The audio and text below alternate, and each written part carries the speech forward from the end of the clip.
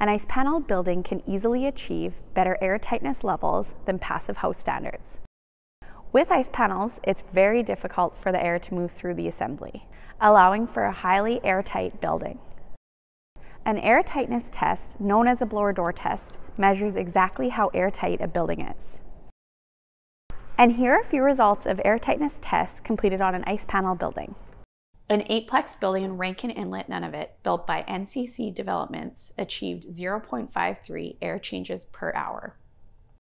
And a residential project in Meridian Beach, Alberta, built by Gleaming Custom Homes, achieved 0.37 air changes per hour and another residential project in Castlegar, BC, built by Prevail Solutions, achieved 0.23 air changes per hour.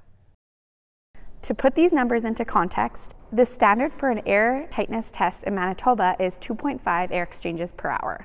The Efficiency Manitoba technical standard is 1.5 and Passive House standard is 0.6 air exchanges per hour. So a result of 0.2 is about as good as it gets. When it comes to air tightness, always remember the lower the number, the better. Zero means there is no air leaking in your building. The test measures how much air is leaking into or out of the building and shows specifically where this is happening. It will also check for any moisture that is leaking through any wall cavities, which could create unwanted mold and mildew. We want to be in full control of the air quality in our homes. And we encourage you to ask your builder to have an air tightness test done on your next project.